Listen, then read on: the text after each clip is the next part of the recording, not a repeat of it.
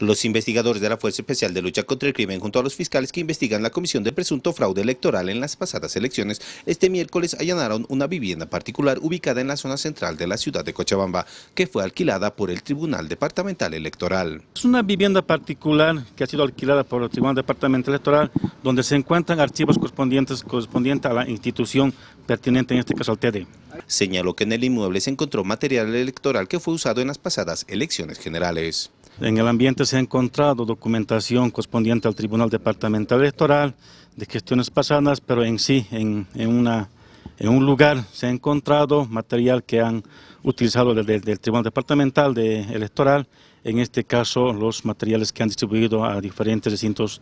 mm, electorales. Remarcó que a la fecha ya se realizaron tres allanamientos a domicilios donde se desviaron los materiales del Tribunal Electoral Departamental y que estos operativos continuarán en las próximas horas.